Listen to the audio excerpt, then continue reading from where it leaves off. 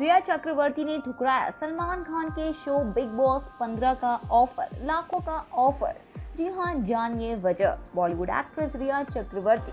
यूँ तो पिछले एक साल से सुशांत सिंह राजपूत के केस के सिलसिले में चर्चा में बनी हुई है। लेकिन इन दिनों एक्ट्रेस बिग बॉस 15 की वजह से खबरों में छाई है। पिछले कई दिनों से सोशल मीडिया पर बस है कि रिया सलमान खान के शो में एंट्री कर सकती है। इतना ही नहीं, खबर तो ये भी है रिया को लाने के लिए मेकअप अच्छी खासी रकम अदा कर रही है। लेकिन अब लेटेस्ट खबर में कुछ और ही कहानी निकल के सामने आ रही है। लेटेस्ट अपडेट के मुताबिक रिया ने बिग बॉस 15 का ऑफ़र ठुकरा दिया।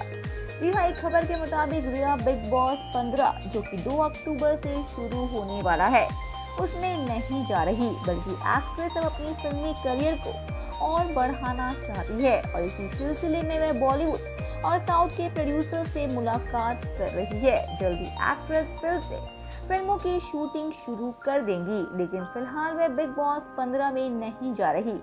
वहीं दूसरी तरफ़ बॉलीवुड लाइव की खबर की माने तो रिया के शो में न जाने के पीछे एक और वजह है, और वह है उनके कानूनी पछड़े।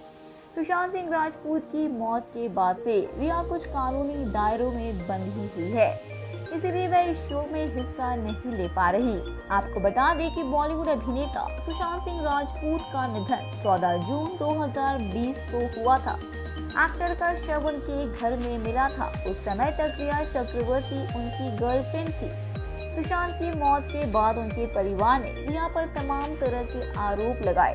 इस केस की जाँच के दौरान ड्रग एंगल सामने आने पर रिया को कुछ महीनों के लिए जेल भी जाना पड़ा।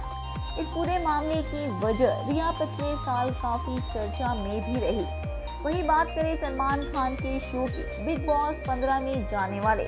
कुछ कंटेस्टेंट्स के नाम फाइनल हो चुकी है। जो है शमिता, शेट्टी, निशांत भट्ट, प्रतीक सहजपाल सोनल बिष्ट, आसिम, रियाज तेजस्वी प्रकाश, अकाशा सिंह और करण कुंद्रा।